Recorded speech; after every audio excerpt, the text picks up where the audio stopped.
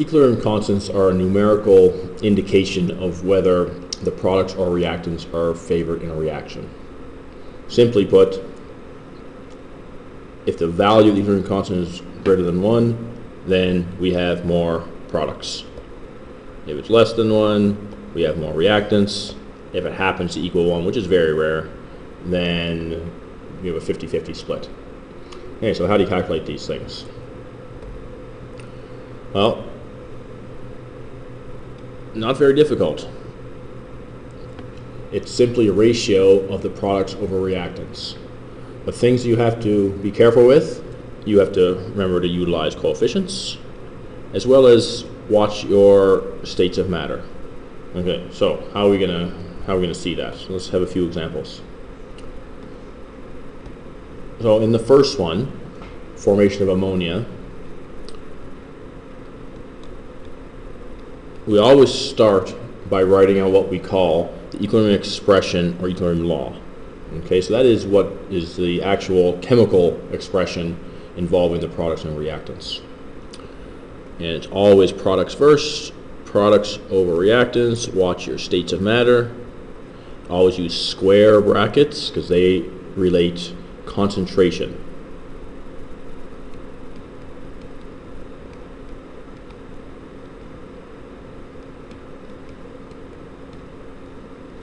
And notice it's just division multiplication. There's no addition or subtraction in these things. Uh, and remind you, these are square brackets, meaning moles per liter. They are some form of that. Okay, so before you put any values into these, we're not going to do that yet, but before you do, they must be in moles per liter. So what's missing here? Well, we don't have the, the coefficients involved. Okay, these coefficients of each of the terms become exponents in your KEQ expression. So we're going to have to square the ammonia. Nitrogen is just a 1, so we leave it alone. And then hydrogen would be cubed.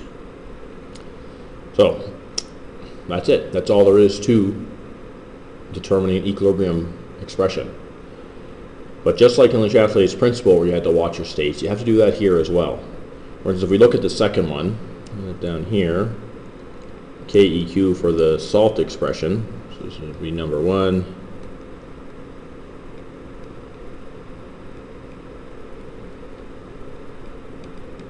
When we were dealing with Le principle, we said, well, since I, if I add more solid salt to the system, nothing would happen because it's not really part of the equilibrium. It doesn't have a concentration.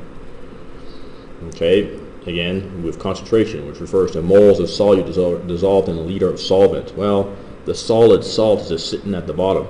It's not dissolved at all.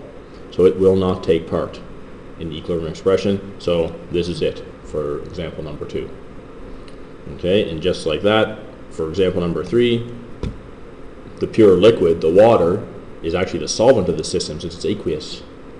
So it doesn't really have a specific concentration. It's a, it's a, it'd be a constant value, but we don't really care. So just ignore it. So example three, and you see this one a lot in the next unit, dealing with acids and bases.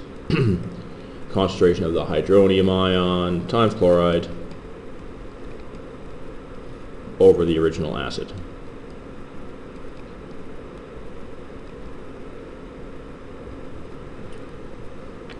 You won't really see it so much for something like hydrochloric acid, which is a strong acid, but it serves our illustration just fine.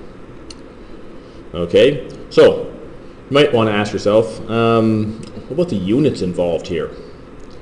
If you notice, we have, in this first example, we have NH3 squared over N2 over H2 cubed.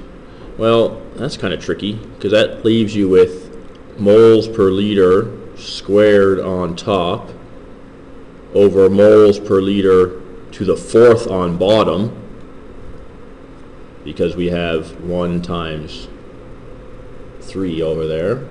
So then that simplifies a bit to give us 1 over moles per liter squared, because these two would cancel out.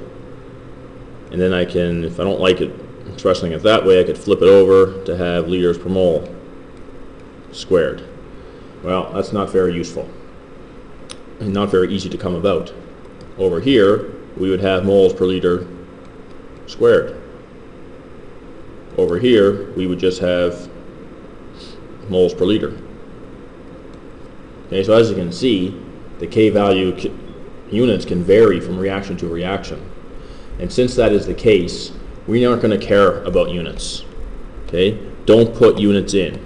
If you start putting them in when you're doing the calculations, you have to you have to complete them. Okay, so don't bother. Save yourself some time. Okay, so and there's the illustrated examples again. And we mentioned not more having to worry about the units. Okay, so in this example, we say at a certain temperature we added two moles of nitrogen, two of hydrogen, and one and a half ammonia. It says that's at equilibrium. So right away I'm at equilibrium. I set up my equilibrium law. Do that first. Then I plug in my values, and I get my final answer at 0.14. And since it's less than one, that means the reactants are favored. One thing I'd like to point out here it says it's at a specific temperature. Equilibrium constants are what we call temperature dependent.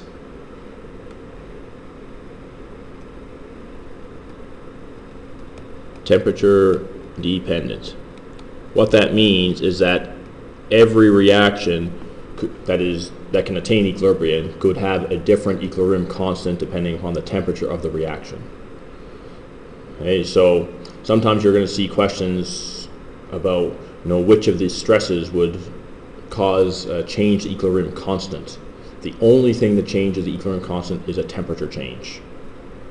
Okay, a little sudden um, instant changes or additions of energy won't change it. But if you do the reaction at, say, 25 degrees Celsius versus 100 versus 400 degrees Celsius, you would get very different potential and kinetic energy surroundings, environment, which would cause different reaction to occur, or sorry, different rates of reaction to occur.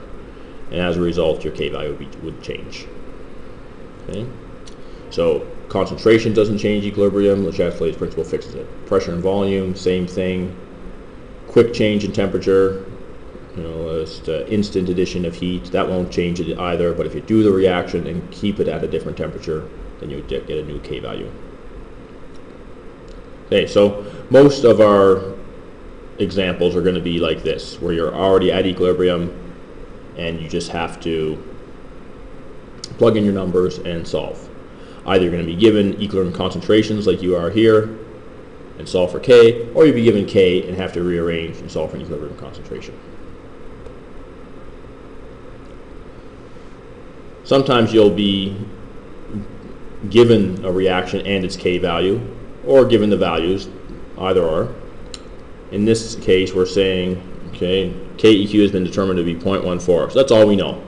Okay, let's assume we didn't have the other uh, values given to us. So, the question might be, solve for the K of the reverse reaction. Well, to get the K of the reverse reaction, it's simply calculate the inverse, the reciprocal.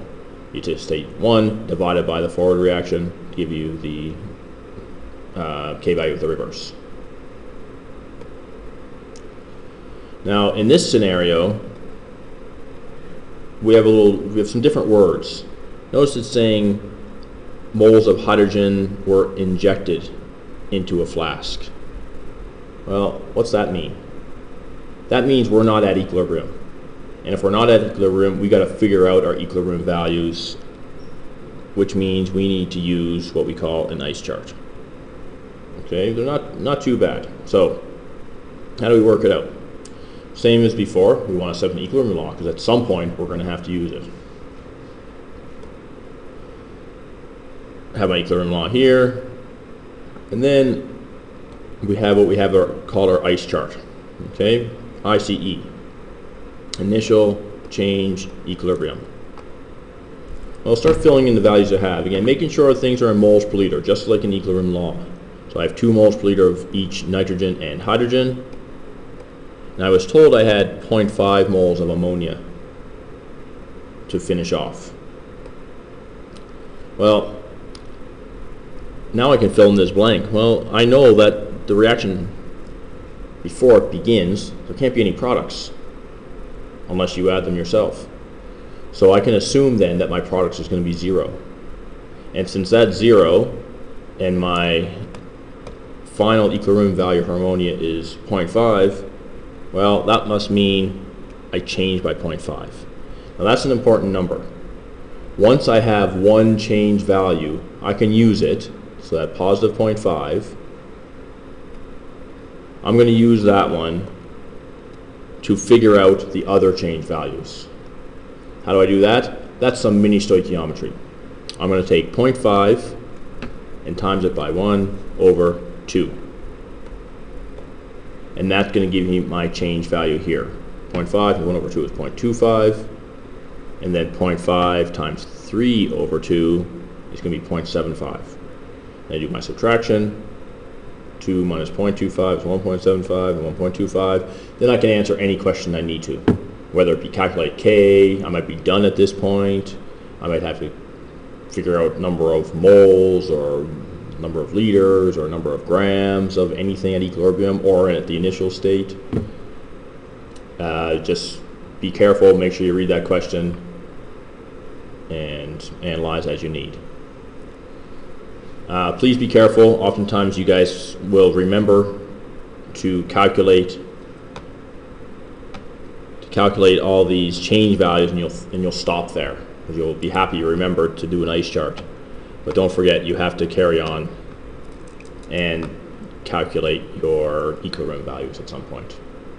Okay, and and most of the time you'll have to start, you'll be in initial and be looking for final, but it could be completely opposite where you have to, where you're given a K value and have to solve for equilibrium concentration, then go in reverse to solve for your initial concentrations.